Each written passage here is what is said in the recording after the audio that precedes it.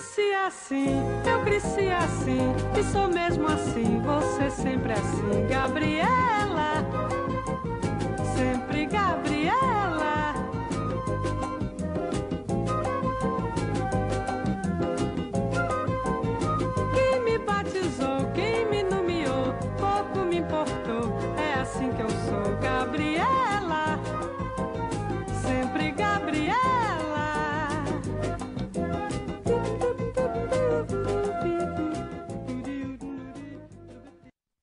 Tem sim, coronel. É, por sinal, a mulher mais bonita lá do Bataclan, na minha opinião, é a Zarolha, que é sergipana. Zarolha? Mas essa não é a mesma que começou a tal história da procissão? É, é essa mesmo. Ah, então não adianta, Nassib, não adianta. O compadre Coriolano vai ter que se conformar com mulher de outros estados. O senhor acha que... o Ela vai ficar muito triste, Nassib. E é lógico. Não vai poder sair nem de manto e nem sem ele. Tu já imaginou a decepção, homem? O senhor acha que elas não saem mesmo? Não sai. Eu sou capaz de apostar uma das minhas fazendas.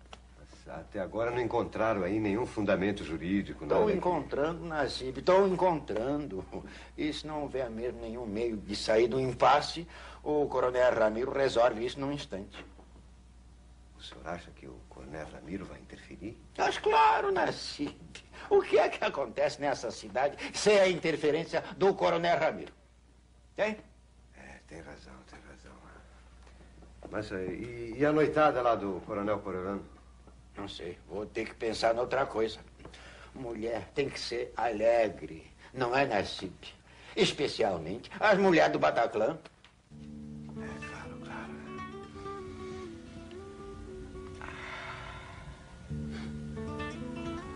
Eu não sei o que é que eu tô querendo. Meu pai me manda fazer uma coisa. Posso não. Que raiva.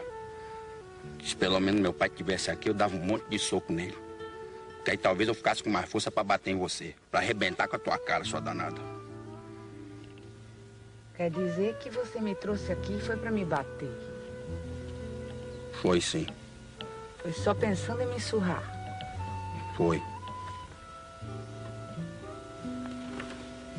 É um menino. É um menino. Tá mais calmo? Viu como eu sei acalmar as pessoas? Viu? Viu? Eu escrevi cartas lindas. Eu disse tudo que uma pessoa de bem pode dizer a respeito dessas mulheres. Eu hesitei um pouco. Afinal, elas são humanas. Eu também acho.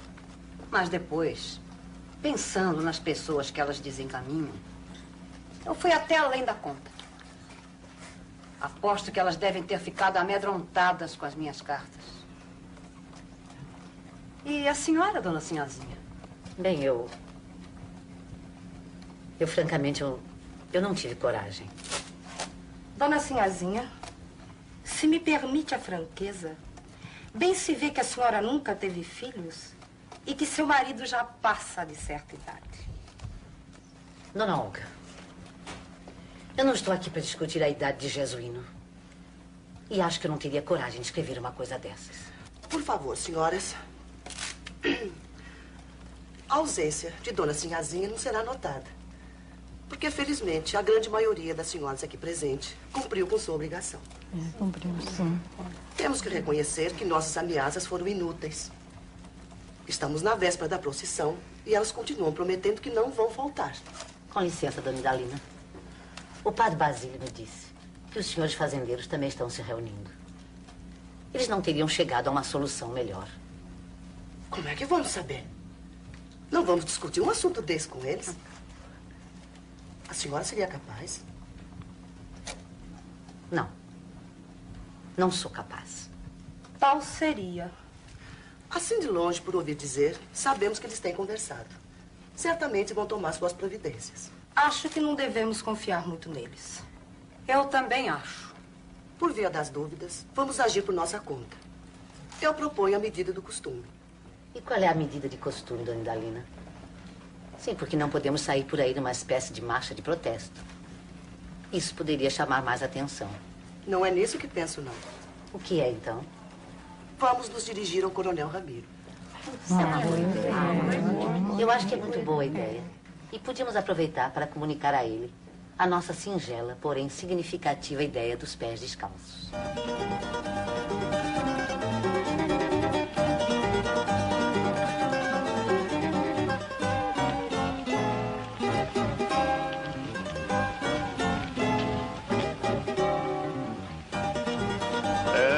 Não foi neste navio que chegou o nosso tão esperado doutor Mundinho.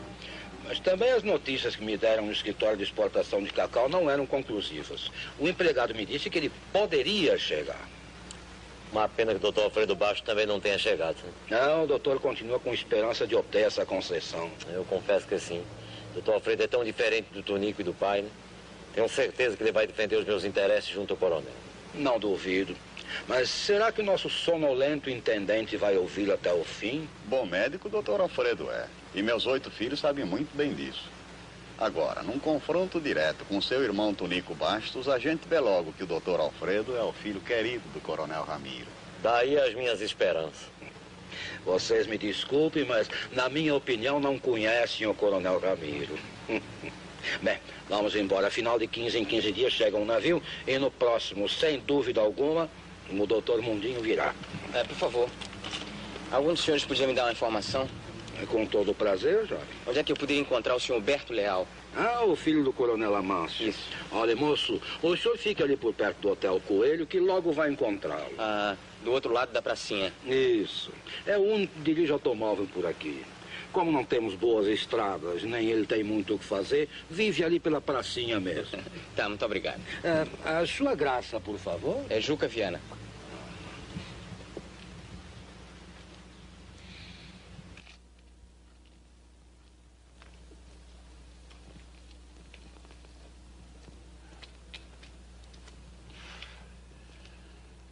Pessoal, já entrou? Doutor Maurício levou todo mundo já. Você acha que tem fazendeiro número suficiente para uma decisão importante? Tem sim. É, a reunião devia ser na intendência, mas assim numa emergência, aqui pelo menos a gente tem certeza de encontrá-los.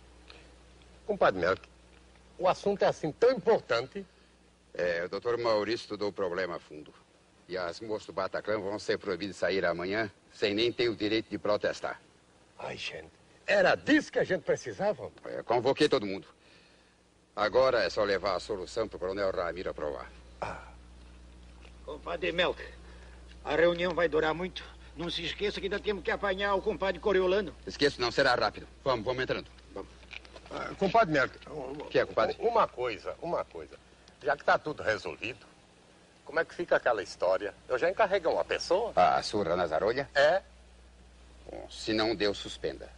Se já deu, é mulher com uma zarolha, uma surra a mais, uma surra a menos, não tem importância. Sobe não, compadre. Eu, eu, eu, eu já vou já. Tô só esperando meu filho que deve chegar nesse minutinho aqui.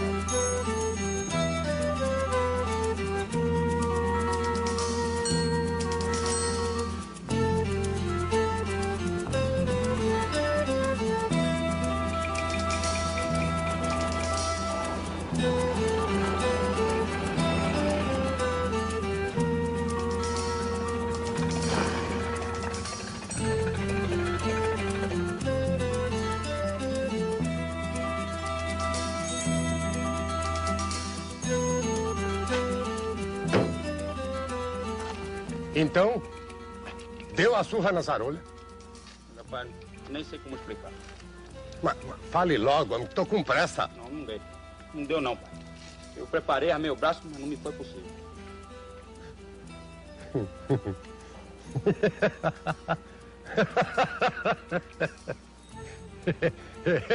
eu sei como é. Eu sei como é. Da primeira vez que me deram um trabalho igual a esse, eu também não sabia. Tremi. Mas quanto tempo você aprende? Eu não sei não, viu, pai? Não sei não. E até se habitua. A gente se habitua com tudo nesse mundo, meu filho. Você está preocupado que pode ser que agora você esteja assim um pouco, é, um pouco fraco. Mas ainda espero muito do meu filho. Pai, eu lhe prejudiquei muito. Aí se você está pensando naquela história da sociedade, não se preocupe também com isso, não. Que o, o, a nossa combinação tá valendo do mesmo jeito. Não é isso, pai. É, é que eu nem assustei a moça. Também isso agora não tem mais importância que já foi tudo resolvido. Doutor Maurício arranjou um cachiche igual que, que nos tempos antigos. Um cachiche? Um marapuca jurídica? É mais ou menos isso. Você vai ver, mais daqui a algumas horas, nem ninguém tá se lembrando mais dessa história das moças na procissão. Agora vou, até logo, meu filho.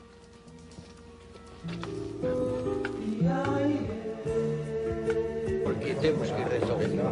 Foi muito bom ter todo lado. Eu acho que não precisamos perder tempo. Lembrando como foi que começou tudo isso. Todos nós temos acompanhado a petulância com que essas moças têm se portado.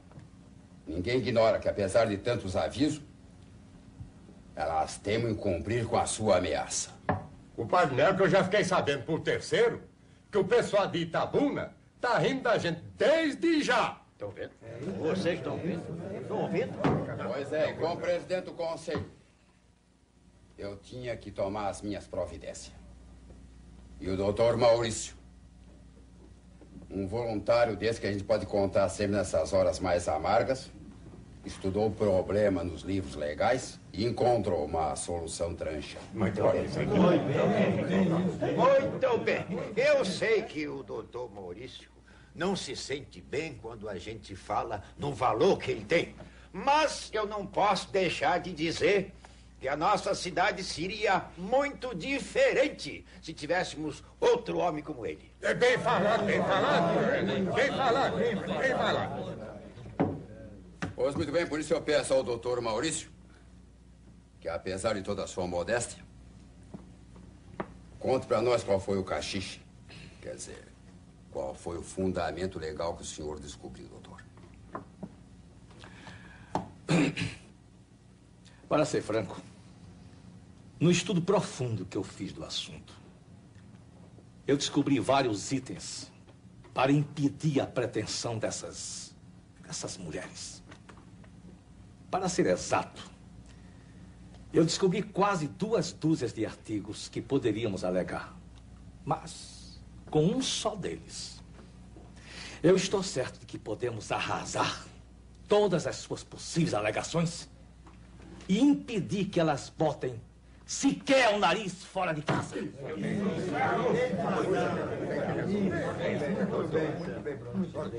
Doutor Maurício, por favor, qual é esse item maravilhoso?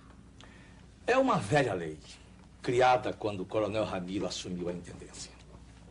Todo mundo se lembra muito bem desse tempo.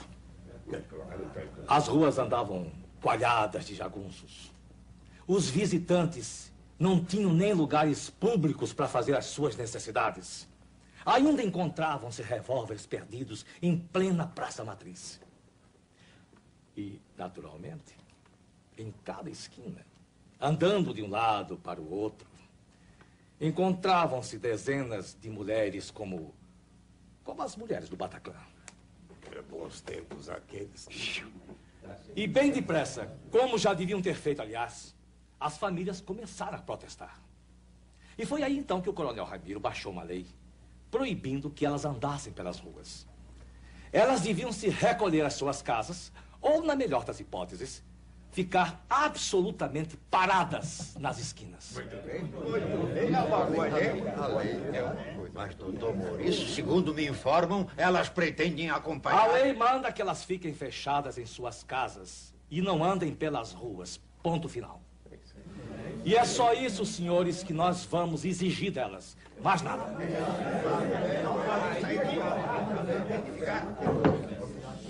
Como os senhores veem, diante do brilhante achado do doutor Maurício, o coronel Ramiro não vai ter o menor trabalho em resolver definitivamente essa questão.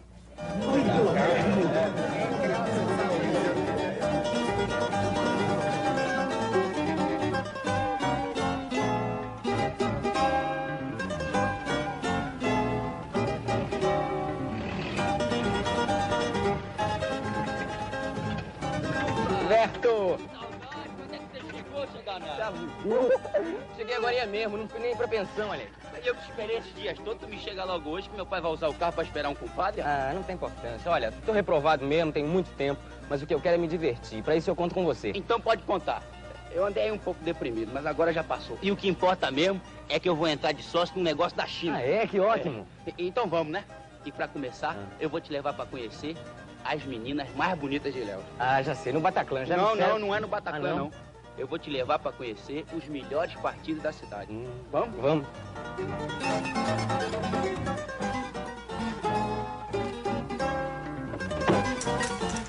Ainda bem que eu cheguei pros arremate final. É, mas todo mundo aí tá dizendo que vão proibir. Ah, eu tenho muita fé ainda. Também depois de tudo que eu passei, Tá se arriscando muito, sabe? Melhor não sair com mais ninguém, pelo menos durante algum tempo. Olha, mesmo que aquele almofadinha tivesse me surrado, eu não desistia. Parece até que me deram mais coragem. Por quê? Sei não. É como se, de repente, eles me vissem como a única responsável. É. E agora eu não posso fracassar. Escuta. E se eles aparecem aqui essa noite? Eles quem? A coronelada toda pode chegar aqui e fazer uma emboança danada. Dos velhos eu não acredito.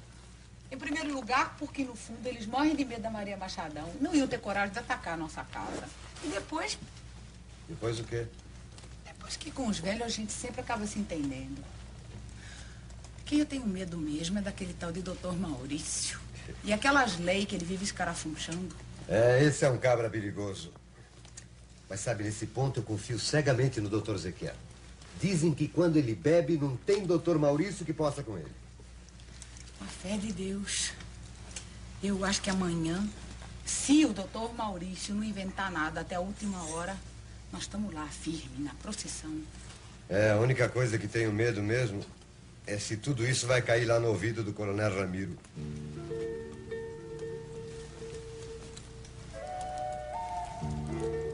Aí eu perco minha fé de vez. Com ele não tem jeito, não. Vocês fizeram muito bem em ter vindo. O compadre Coriolano vai ficar satisfeito. No fundo, ele é um grande sentimental. É, eu não faltaria nunca, sabe? Ainda mais que a fazenda dele fica do lado da minha. E eu tô roxo pelas notícias do Cacau. Eu também gosto muito do compadre Coriolano, apesar daquela maneira dele ainda se vestir. E para falar com franqueza, então não perdi a esperança na casa dele, não. E o que, que ele quer fazer com a casa vazia? Eu faço questão de levar o compadre Coriolano em nossa representação junto ao coronel Ramiro. É claro que todos nós somos gente de bem. Mas o compadre Coriolano, com toda aquela sua simpatia, aquele seu jeitão de homem do mato, é muito bom e impõe respeito. Aliás, merecido, é muito merecido. O compadre Coriolano é um homem simples, puro. Vocês sabem qual é o maior prazer dele? Ah, naturalmente deve ser um dos nossos. Claro que o maior prazer dele é ficar lá na fazenda de noite, ouvindo os caboclos contar história de cobra e assombração. Não diga. É isso mesmo, é assim mesmo. Olha, aí vem ele chegando. Agora vocês imaginam como é que ele vai ficar indignado com a petulância dessas moças do Bataclan.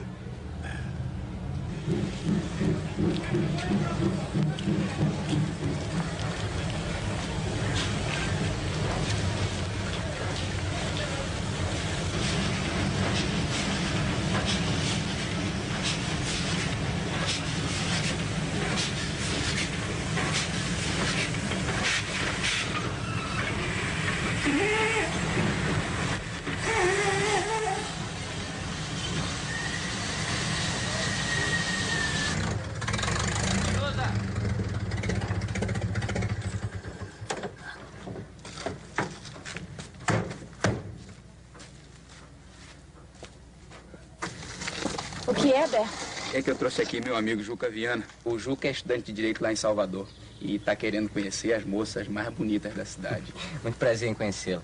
O prazer é todo meu. Naturalmente, Berto está brincando. O Juca, a Jerusa, além de neta de nosso intendente, portanto, aquilo que já lhe falei, um ótimo partido, é também moça muito inteligente.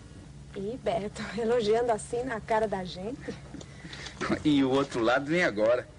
A Jerusa é uma moça muito orgulhosa. É dessas menininhas que ainda não sabe o que quer e que às vezes é criança demais.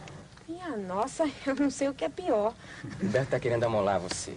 Mas não se preocupe que eu mesmo vou fazer o meu próprio juízo. É o que eu também espero. Eh, Querem que eu chame Malvina? Faça isso, cheiroso. Malvina! Malvina, venha conhecer gente nova na cidade. E aqui é mais ou menos bonita que a Jerusa. Olha, Juca, depende muito de gosto. Elas são completamente diferentes. Ah, é? É. Por quê? Malvina é o vulcão que ainda não explodiu.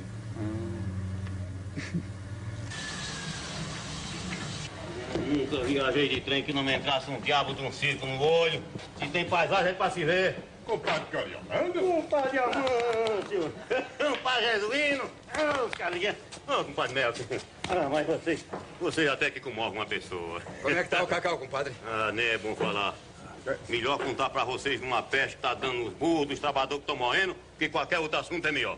É, então deixa pra depois. Tem muito tempo. Ó, compadre Amâncio trouxe até o automóvel pra levar você, compadre Coriolano. Mas um automóvel não precisava, compadre. Que desperdício. Desperdício não é trabalho nenhum, compadre. O bicho anda sem a gente fazer força. Não, mas eu que não vou entrar nesse bicho, não. Não, não, não é só por comodidade, Ah, ah, eu sei, eu sei. Olha, compadre, da primeira vez eu também tive medo. Hum. Mas vendo a beleza da máquina, o compadre ganha coragem. não. Não, mas eu... Mas não vai dar, não. Eu até já providenciei os burros pra ficar à espera. Deixa os burros pra lá, compadre. Quem trouxe leva, claro. Olha, temos que ir todo mundo junto pra gente conversando. Estamos precisando do compadre pra importantes decisões, hein? Não, eu, eu compreendo, mas olha, eu vou falar logo. Falar de uma vez, já que não adianta mais esconder. Eu vim de primeira classe, mas tem outra pessoa que veio na segunda e tem que ir comigo. Ah, mas não tem importância, compadre apertando um pouquinho cabe. Afinal, compadre Coriolano não engordou tanto assim, não, né? Ah, muito obrigado, compadre. Eu agradeço a intenção, mas fica pra outra vez. Hoje tem que ser burro mesmo. Olha lá a pessoa que eu trouxe, saindo da segunda classe. É a Chiquinha. Trabalhava lá na roça. E eu trouxe pra. pra morar lá na minha casa. Pega aqui, Chico.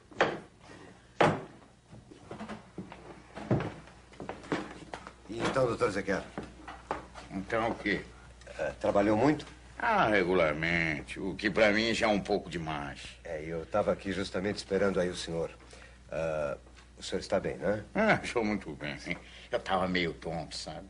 Mas fui pra casa, tomei um bom banho, me alimentei um pouco. Agora, se quiser comer alguma coisinha aí, eu mando o Não, Chico Estou até trazer. empanturrado. Ah, sei. E então, doutor, os, os fundamentos legais. Hã? É, eu não disse para o senhor que o doutor Maurício já tinha 17 fundamentos legais e estava com tudo não- pronto? Não duvido. É um bom criador. Isso ele sabe fazer. E o senhor? Eu o quê? Doutor, o senhor não saiu daqui dizendo que ia para casa pegar lá nos livros, ali, os Ah, fundamentos sim, sim. para combater lá o doutor Macedo, Maurício? meu filho. É melhor lhe dizer toda a verdade logo. Eu levei daqui uma garrafa cheia, não foi? É, foi. Pois é. Cheguei em casa, abri os livros, abri a garrafa e acordei ainda há pouco. Mas, doutor, e, e o que, que vai acontecer com elas? É, infelizmente, meu filho, eu acho que elas estão perdidas. Nasci, meu filho. Sim. Se você me oferecesse um bolinho agora, sabe que eu aceitava. Mas, doutor, o senhor não saiu daqui dizendo que ia para casa e ia estudar lá nos livros? eu tudo? estudei, estudei. Mas e, e as leis, doutor? O senhor não procurou as leis lá a favor delas? Procurei, meu filho, mas não encontrei nenhuma. São todas contra. E pronto, compadre. Esquecemos de perguntar para Coronel Coriolano o que, que ele acha dessa história das moças do Bataclan. Vai lá e pergunta pro homem. E marca com ele a hora que ele tem que se encontrar com o Coronel Ramiro. Ah, ele tá no direito dele. Não é o primeiro nem será o último que faz isso. O compadre Melo parece que não tá gostando, né? Não, não tô pensando nesse lado não, compadre. Não seria eu o primeiro que iria tirar uma pedra do compadre, isso não. Mas por uma coisa dessas, eu acho que ele deveria arranjar uma casa aí nos cafundó qualquer. Perto da minha, não gosto não, viu? O quê? Elas tiveram uma ideia perversa dessa? Claro que sou contra. Pode contar comigo. Vou lá sim. Acho até que devia meter essa mulher na cadeia. Agora já se viu uma coisa dessa? Hum. Ah.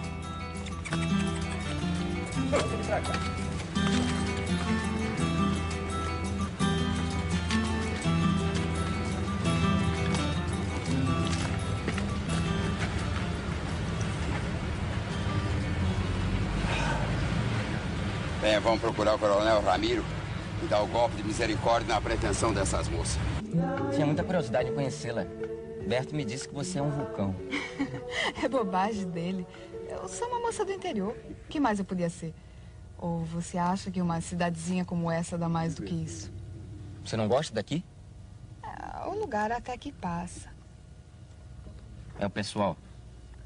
É, esse é que é o problema. Não que eles sejam ruins ou pior do que os outros, não é isso. É o que então? Veja minha mãe, por exemplo. Daqui a pouco ela vai sair para uma reunião com outras senhoras. Se nós ainda estivermos conversando aqui, adivinha o que ela vai pensar? Não sei o que é. Bem, primeiro ela vai ficar preocupada e vai te olhar com uma certa desconfiança. Depois, quando ela descobrir que você é ou foi filho de fazendeiro, ela vai respirar tranquila e começar até a imaginar coisas. Minha mãe também agia assim com minha irmã. É? É, quando meu pai era vivo e tinha uma fazenda. E o que é que sua irmã é hoje? Mulher de fazendeiro.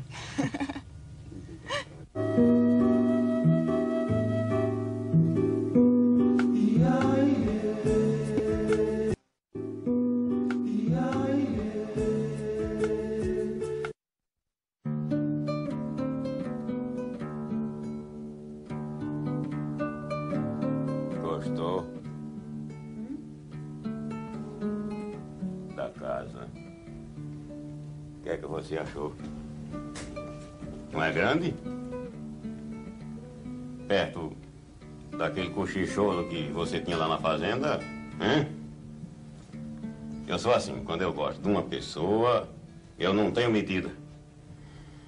Ah, tá quente.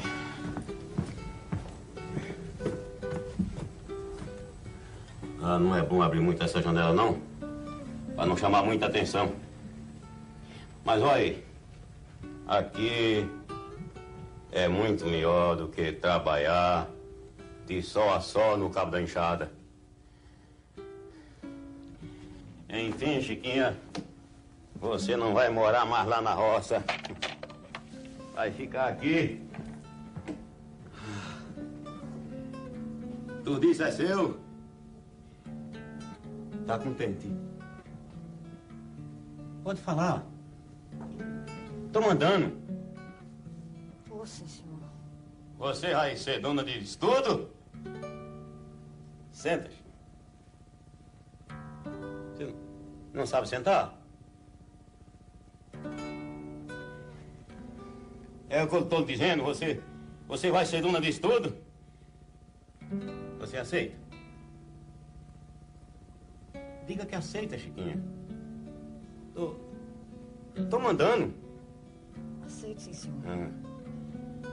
Logo mais vem uma preta velha aqui pra fazer a comida, fazer a limpeza e tratar de você. É, você não tá feliz? Não tá não? Tô, sim, senhor.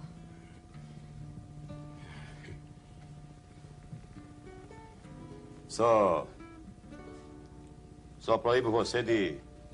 de botar a cara na rua. A preta que vem aí sabe fazer tudo. Você também não precisa ter medo de nada, que toda vez que eu voltar da fazenda, eu venho aqui ver você. Hum? Tá feliz? Pode falar, Chiquinha. Tô mandando. Tô feliz, sim, senhor. Ué. Mas essa agora? Mas por que essa choradeira? Ai, meu Deus, mas, vamos, mas eu tô dando tudo pra você, Chiquinha. Ai, meu Deus. Tome, tome um lenço. Limpa o nariz. Essa agora, meu Deus, não esperava uma dessa. Mas, mas por que você está chorando? Chiquinha, diga por quê. Diga que eu não me zango, não. Olha, eu até tô mandando. Tenho medo de ficar sozinha quando o senhor for embora pra fazenda. Ora, é uma criança. Nem parece a mulher que é.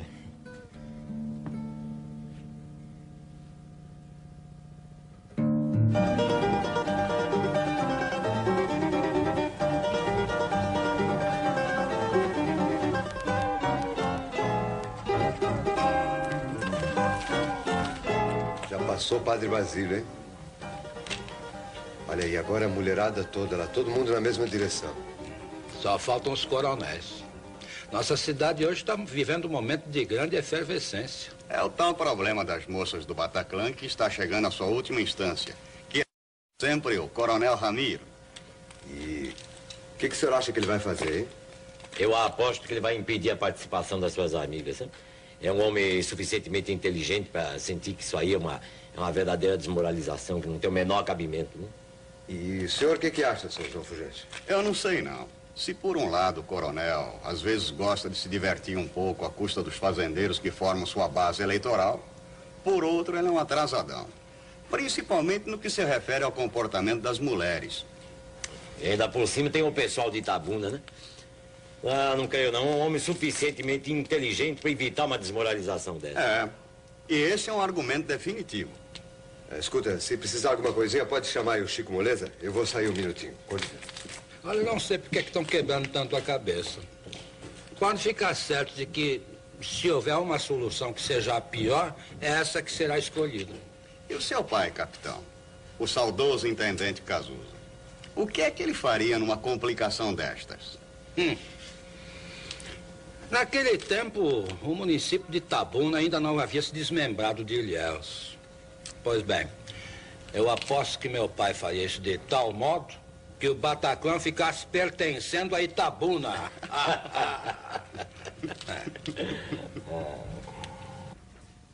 Olha, Padre Basílio, o senhor também tem muita culpa, não acho dessa história sem pé nem cabeça. E também não gosto dessa lei que eu mesmo assinei há quase 20 anos atrás. É um pretexto muito fraco. Todo mundo vai dizer que nós arranjamos uma desculpa boba para fazer a proibição que pretendemos. E, então me diga, por favor, Coronel Ramiro, como é que o senhor agiria se o senhor estivesse no meu lugar? Eu não sei. A igreja não é o meu ramo, por isso o senhor está lá e eu estou cá, mas cada um no seu lugar. Eu não podia deixar chegar as coisas ao ponto que chegar. Quer dizer então que eu fracassei? Fracassou, sim. Olha aí essas botas. Para que, que o senhor usa isso? Porque o senhor tem uma roça de cacau. O senhor, além de pai, também é fazendeiro. Portanto, também tem responsabilidade. Então, como é que o senhor consente que umas moças sem eira nem beira enfrentem o que a cidade tem de mais representativo? E em situação privilegiada, ainda por cima. Francamente, Coronel Ramiro, eu não sei como é que eu poderia. Se o senhor tivesse explicado a tal mulher que essa obediência ao sonho não passa de uma crendice e não tem nada com religião, senhor tinha tirado isso da cabeça dela. Tudo tinha morrido numa simples gota d'água. Agora nós temos um oceano. De qualquer modo, é melhor a gente ter a velha lei desenterrada pelo doutor Maurício do que não ter nada. Sempre é uma saída. Eu só vou usar essa lei em um último recurso, não sabe? Afinal de contas, a gente precisa ter um mínimo de respeito pelos nossos inimigos. Senão, a vitória não só não tem graça, como pode ser pior do que a derrota. Bom, o que, é que o senhor pretende fazer, então?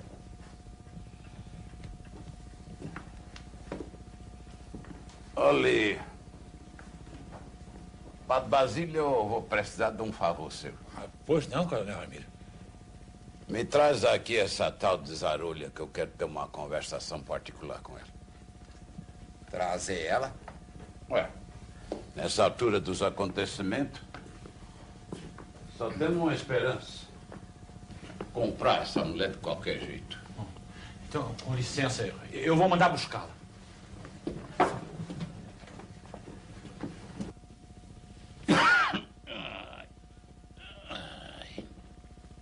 Tem aí um grupo de senhoras que quer falar com o senhor. Desculpe, compadre Mac, mas não vou receber elas, não. Eu já sei o que é que elas vêm me dizer. Não vou perder a minha madorninha de todas as tardes. Bom, o que é que eu faço com elas, então?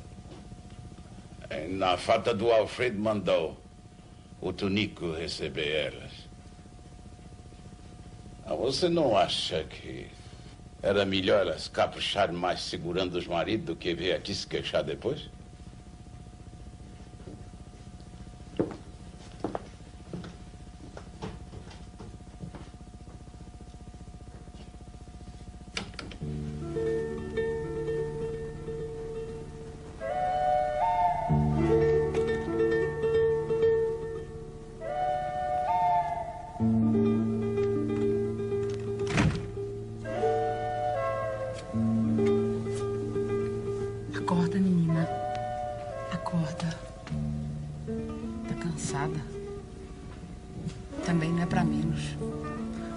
Trabalho todo e ainda tendo que. Não vai dormir, vai, menina. Vai dormir. Vai descansar. Faço questão de dar os últimos pontos da relance.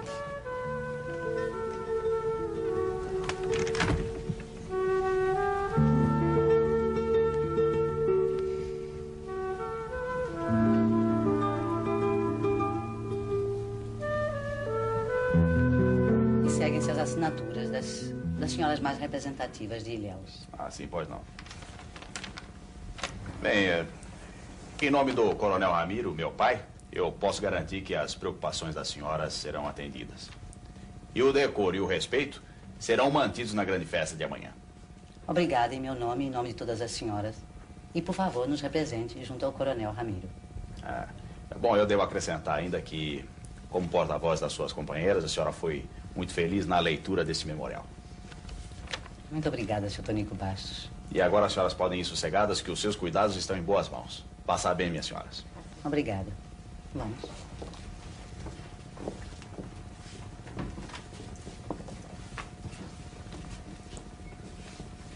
Tonico, eu preciso te dizer uma coisa antes que eu arrebente. Em você eu. Eu naturalmente confio. Mas nos outros maridos. Veja lá o que vocês vão fazer com a gente. Mas veja lá como. Se vocês não tirarem essas mulheres da nossa frente, eu não sei o que pode acontecer. Mas é bem capaz da gente perder a calma e não ter procissão. Coronel Ramiro em pessoa? Ele mesmo. O que, que ele pretende de você? Se não fosse tão velho, eu ainda podia pensar, não é? Tá com medo? Apavorada. Mas já falei com Dona Maria Machadão, ela me garantiu que ele é um homem muito correto. Ela se lembra dele, não sabe? Diz que, diz que os outros coronéis não chegavam nem aos pés dele. É?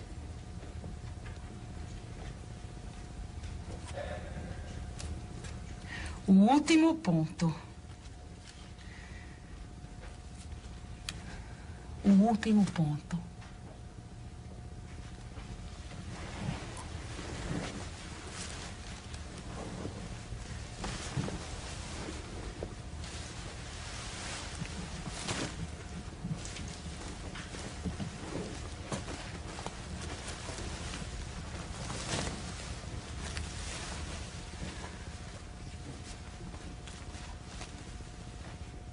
Agora seja o que Santa Madalena quiser. Santa Madalena? Entreguei tudo nas mãos da Santa. Olha que Deus que me perdoe. Mas ela, lá no tempo dela, ela devia ter tido suas encrencas também. É. Tem razão, Zarulha. Alamak, filha. O que, que é isso? Deus te acompanhe. Muito obrigada. Olha, meu turquinho, você me deu tanta força. Tenho fé em Deus que um dia eu possa te retribuir. É. Allah também.